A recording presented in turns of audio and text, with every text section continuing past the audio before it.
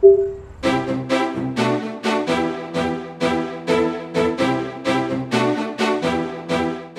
today we are here in Tampere Smart City Expo and conference at Nokia Arena, Tampere, Finland.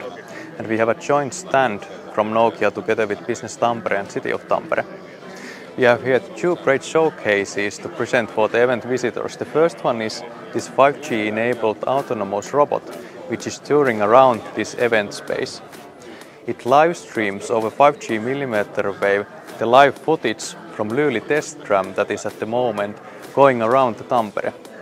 It can also show some additional information, for example, what is the current speed, it seems to be now on the stop, and also how much passengers there is at the moment in the cars, and of course weather information from Tampere. We have also another showcase here. Here Onni is wearing the VR headset and he is teleported to a digital world, virtual reality.